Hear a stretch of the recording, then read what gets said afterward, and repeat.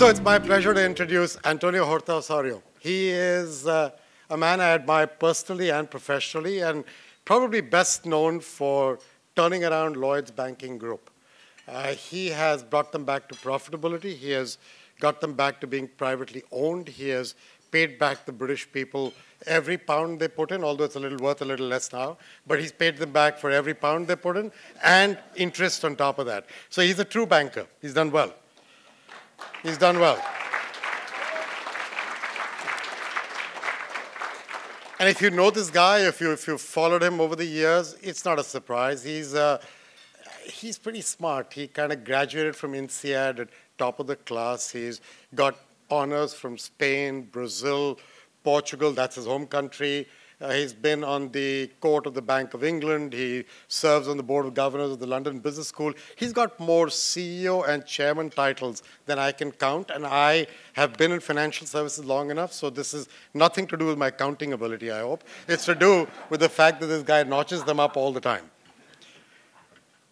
The one thing I would tell you, his bank has a very interesting slogan that he put in place, a campaign slogan, think of it that way, helping people prosper. And if you ever want to get Antonio's eyes to light up, you have to start discussing inclusion. Any topic to do with inclusion, his eyes light up. And so he deeply actually cares about the topic of helping people prosper with what he does with his institution. He cares about his people in the company. He's got a great team. He develops them any which way. Helping people prosper is what he's all about. He's also a guy who's willing to admit his failings. And I would tell you that uh, when he first went to Lloyds, this is all public information, he went through a very tough time on stress. He takes his job a little too seriously, a little crazy.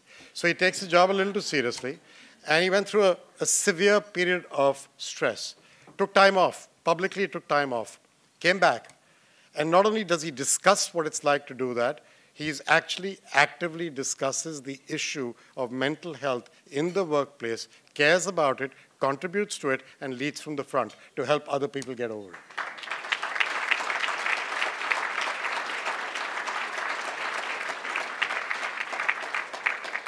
And you know, you can achieve a lot and you can have a resume like his and you can get all these medals and you can be well known and or you can still have a lot to do, but we're all basically human. And what Antonio is doing is reminding you that being human is okay. And once again, he's helping people prosper. And that's really, really nice. Now, there's one place where he doesn't help people prosper. He's pretty good at tennis, and he has a, uh, a claim that he once had a wrist injury, and therefore he can't really play as he could in the old days. That's all bullshit. He's ambidextrous. He can beat you with either of those hands tied behind his back. I'm scared that he can beat you with both hands tied behind his back.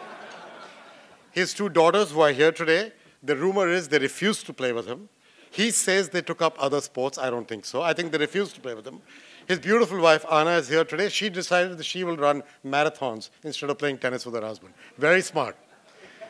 But Antonio, I'm there for you. I will come with you, but I will not play with you. I will watch from the front seat. We go regularly to watch tennis together, and I will do that again in this coming year. So, I have been a lucky and proud recipient of this medal myself some years ago, and I can tell you, I do not know a more capable, distinguished, thoughtful, and kind person to get a medal of this type from people like you all. So please join me in congratulating Antonio and welcome him up to stage.